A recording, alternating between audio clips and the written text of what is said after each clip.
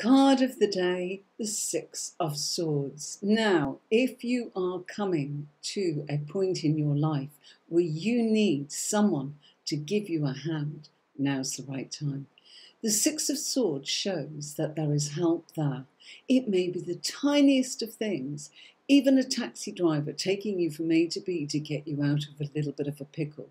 Look, it's taking help from others right now. They're going to help you progress.